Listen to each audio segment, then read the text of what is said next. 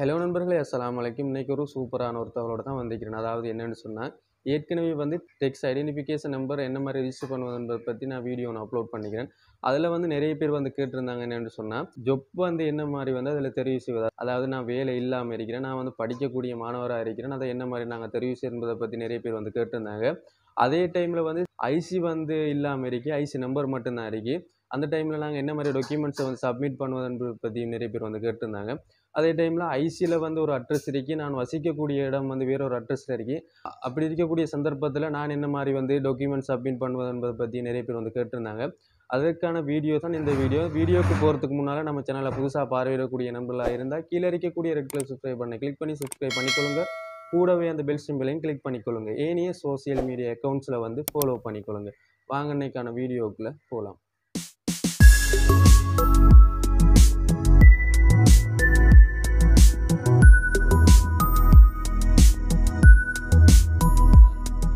இதில் தான் வந்து உங்களுடைய ஜாப் டீட்டெயில் கொடுக்குற பகுதி இந்த பகுதி தான் வந்து.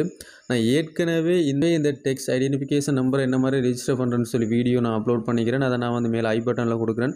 அதை நீங்கள் வந்து பார்த்து தெரிஞ்சு கொள்ளுங்கள் இதில் வந்து நிறைய பேர் கேட்ட கேள்விக்கான வீடியோ தான் இது. அதாவது இந்த ஜொப் கேட்டகரியை வந்து என்ன மாதிரி நாங்கள் தெரிவு செய்வது என்பதை பற்றி அவங்க கேட்டிருந்தாங்க.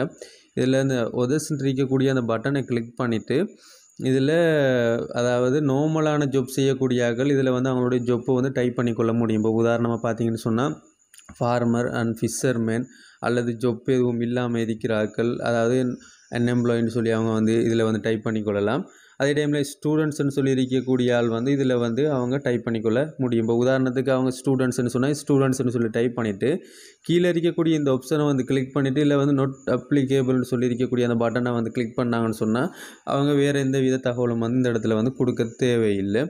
அதே டைமில் பார்த்தீங்கன்னு சொன்னால் இந்த எம்ப்ளாய்மெண்ட் இருக்கக்கூடிய அந்த பட்டனை கிளிக் பண்ணாங்கன்னு சொன்னால் அவங்க வந்து எது சரி அவங்க ஒர்க் பண்ணக்கூடிய ஆக்கள்னு சொன்னால் வந்து எம்ப்ளாய்மெண்ட் இருக்கக்கூடிய அந்த பட்டனை வந்து கிளிக் பண்ணிக்கொள்ளணும். கிளிக் பண்ணிவிட்டு அவங்க வந்து அக்கௌண்டண்ட்டாக இருந்தால் அக்கௌண்டன்ட் கிளிக் பண்ணிக்கொள்ளலாம். இல்லது செஃப் அண்ட் குக்காக இருந்தால் அதை வந்து கிளிக் பண்ணிக்கொள்ள முடியும்.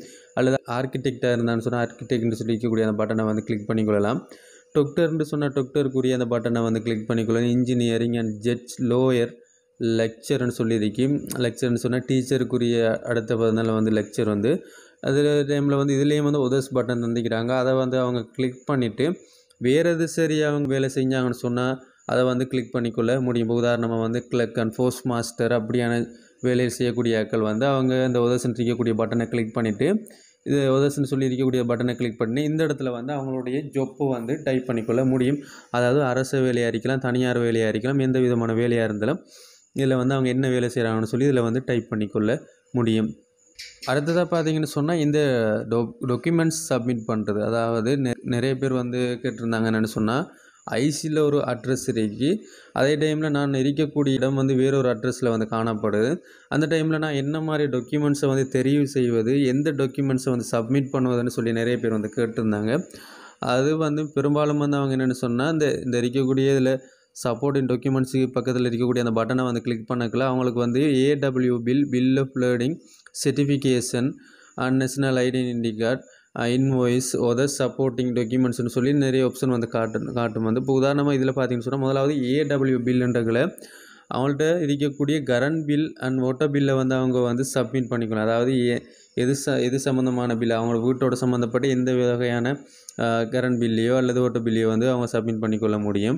இப்போ இதில் வந்து பார்த்தீங்கன்னு சொன்னால் அந்த டாக்குமெண்ட்ஸ் வந்து சப்மிட் பண்ணுறது அந்த பட்டனை வந்து கிளிக் பண்ணிவிட்டு இப்போ உதாரணமாக வந்து அவங்கள்ட்ட வந்து நேஷ்னல் ஐடென்டி கார்டில் இருக்கக்கூடிய அட்ரஸும் அவங்க இருக்க வசிக்கக்கூடிய அட்ரஸும் வேறுபட்டு காணப்பட்டால் அவங்க வந்து இதில் சர்டிஃபிகேஷன் சொல்லி இருக்க கொடுத்த கிளிக் பண்ணி ஜிஎஸ் மூலமாக ஒரு கடிதத்தை எடுத்து அதில் அவங்களுடைய அட்ரஸை வந்து ரெஜிஸ்டர் பண்ணி அந்த லெட்டரை வந்து அவங்க ஃபோட்டோ பிடிச்சி போடலாம். அதுக்கு வந்து சர்டிஃபிகேஷனை வந்து கிளிக் பண்ணிக்கொள்ளலாம் அல்லது அவங்கள்ட்ட இருக்கக்கூடிய கரண்ட் பில்லை வந்து அவங்க ஃபோட்டோ பிடிச்சி போகிறேன்னு சொன்னால் ஏடபிள்யூ பில்லை வந்து கிளிக் பண்ணிக்கொள்ளலாம் அதே டைமில் வந்து லைசன் அல்லது வேறு என்ன சரி ஆதாரங்களை போடக்கூடிய ஆட்கள் வந்து ஒரு சப்போர்ட்டிங் டாக்குமெண்ட்ஸை வந்து கிளிக் பண்ணிக்கொள்ள முடியும். இது என்னென்னு சொன்னால் அவங்க இருக்கிற அட்ரஸும் அவங்களோட ஐசியில் காணப்படக்கூடிய அட்ரஸும் வந்து வேறுபட்ட இந்த மாதிரி அவங்க ஆப்ஷனை வந்து கிளிக் பண்ணி அவங்களுடைய டாக்குமெண்ட்ஸை வந்து போட்டுக்கொள்ள முடியும். அதே டைமில் வந்து அவங்க ஐசி வந்து இல்லாமல் போயிட்டு அதே டைமில் ஐசி நம்பர் இது மட்டும்தான் இருக்குன்னு சொல்லக்கூடிய சந்தர்ப்பத்தில் அவங்களும் வந்து இதில் வந்து ஏடபிள்யூ பில்லை கிளிக் பண்ணி அவங்களுடைய அவங்களுடைய வீட்டு கரண்ட் பில்லை வந்து ஃபோட்டோ பிடிச்சி போட்டுக்கொள்ள முடியும். அதே டைமில் வந்து ஒதர் சப்போர்ட்டிங் டாக்குமெண்ட்ஸ் இருக்கக்கூடிய அந்த பட்டனை கிளிக் பண்ணி அவங்களுடைய லைசனை வந்து ஃபோட்டோ பிடிச்சும் போட்டுக்கொள்ள முடியும். அல்லது சர்டிஃபிகேஷனை கிளிக் பண்ணி ஜிஎஸ் மூலமாக ஒரு லெட்டர் எடுத்து அதை ஃபோட்டோ பிடிச்சும் வந்து இதில் வந்து அப்லோட் பண்ணிக்கொள்ள முடியும். இதில் இருக்கக்கூடிய அந்த செலக்ட் ஃபைலுன்றதை கிளிக் பண்ணி உங்களுடைய டாக்குமெண்ட்ஸை வந்து நீங்கள் சப்மிட் பண்ணிக்கொள்ள முடியும். நீங்கள் ஃபோட்டோவாகவும் சப்மிட் பண்ணிக்கொள்ளலாம். அல்லது பிடிஎஃபாக கன்வெர்ட் பண்ணியும் வந்து நீங்கள் சப்மிட் பண்ணிக்கொள்ள முடியும். அடுத்ததாக பார்த்தீங்கன்னு சொன்னால் இதுதான் வந்து முக்கியமான விஷயம் என்னென்னு சொன்னால் நிறைய பேர் வந்து கேட்டிருந்தாங்க.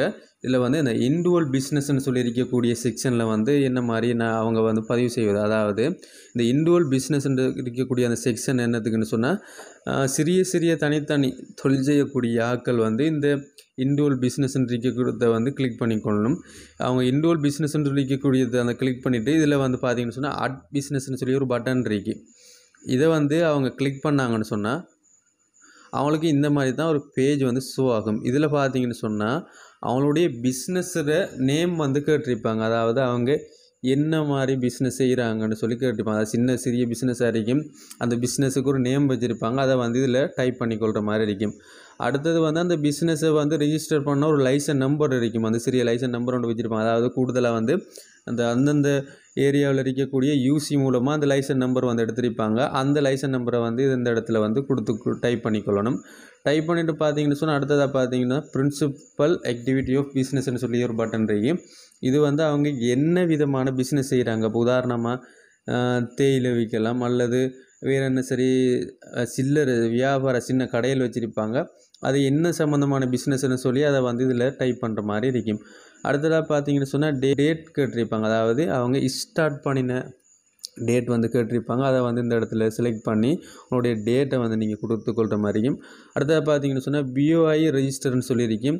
அது பிஓஐ ரெஜிஸ்டர் பண்ணியிருக்கா இல்லையான்னு சொல்லி கேட்டிருக்கீங்க இல்லைண்டா இல்லைண்டு கொடுத்துக்கொள்ளுங்க எஸ்ன்னு சொன்னால் எஸ்ன்னு கொடுத்துக்கொள்ளுங்க இதில் பார்த்தீங்கன்னு சொன்னால் இது தான் அவங்களுடைய பெர்மனண்டான அதாவது முதன்மையான பிஸ்னஸானு சொல்லி கேட்டிருக்கோம் இதை தவிர வேறு சரி பிஸ்னஸ் இருந்தால் நோட்டு கொடுக்கலாம். இல்லை அது தான் முதன்மையான பிஸ்னஸ்ன்னு சொன்னால் அதை நீங்கள் வந்து எஸ்ன்னு இருக்கக்கூடிய அந்த பட்டனை வந்து கிளிக் பண்ணிக்கொள்ளணும். இப்போ எஸ்ன்னு இருக்கக்கூடிய பட்டனை கிளிக் பண்ணி எஸ்ன்னு சொல்லி இருக்கக்கூடிய அந்த பட்டனை நீங்கள் வந்து கிளிக் பண்ணிக்கொள்ளலாம். அடுத்ததாக பார்த்தீங்கன்னு சொன்னால் இந்த இடத்துல வந்து அட்ரஸ் வந்து கேட்டிருப்பாங்க. அட்ரஸ் வந்து உங்களுடைய பிஸ்னஸ் செய்யக்கூடிய அதாவது நீங்கள் பிஸ்னஸ் செய்ய எந்த இடத்துல செய்கிறீங்களோ அந்த அட்ரஸை வந்து ப்ராப்பர் அதில் வந்து டைப் பண்ணிவிட்டு கீழே வந்து போஸ்டல் கோடை வந்து என்டர் பண்ணிக்கொள்ளுங்க. போஸ்டல் கோட் தெரியலைன்னு சொன்னால் நீங்கள் இருக்கக்கூடிய ஊரில் பேரை வந்து கூகுளில் டைப் பண்ணிவிட்டு அதுக்கு பக்கத்துலேயே போஸ்டல் கோடுன்னு சொல்லி சர்ச் பண்ணிங்கன்னு சொன்னால் அந்த போஸ்டல் கோடு வரும். அதை நீங்கள் வந்து காப்பி பண்ணி இந்த இடத்துல வந்து பேஸ்ட் பண்ணிக்கொள்ளலாம். பேஸ்ட் பண்ணி முடிச்சதுக்கு பிறகு சேவ்ன்ட்டு இருக்கக்கூடிய அந்த பட்டன் நீங்கள் கிளிக் பண்ணி இந்த உங்களுடைய பிஸ்னஸை வந்து இந்த இடத்துல நீங்கள் அட் பண்ணிக்கொள்கிற மாதிரி இருக்கும். அட் பண்ணி கொண்டுட்டு நெக்ஸ்ட் பட்டனை கிளிக் பண்ணி உங்களுடைய விவரங்களை சரி பார்த்துட்டு சேவ் பட்டனை கிளிக் பண்ணிங்கன்னு சொன்னால் அனைத்து விதமான தகவலும் வந்து சேவ் ஆகிரும். இந்த ரெஜிஸ்ட்ரேஷன் பார்த்தீங்கன்னா வேறு எது சரி உங்கள்கிட்ட சந்தேகங்கள் இருந்தால் கீழே வந்து கமெண்ட்ஸில் வந்து கேட்டுக்கொள்ளுங்க. அது சமயம் ஒருத்தருக்கு வந்து நான் தனித்தனியாக வந்து ரிப்ளை பண்ணுறதுக்கு முயற்சி செய்கிறேன் இந்த வீடியோ பிடிச்சிருந்தா வீடியோ லைக் பண்ணிக்கொள்ளுங்க. இது போல் புதிய தகவல்களுக்கு தொடர்ந்தும் நம்ம சேனலோட இணைந்து கொள்ளுங்கள் அடுத்து என்ன வீடியோ வேணும் என்பதை பற்றி கீழே கமெண்ட்ஸில் தெரிவித்துக்கொள்ளுங்கள் அடுத்த ஒரு புதிய வீடியோன்னு சந்திக்கலாம். ஓகே நண்பர்களே. பாய்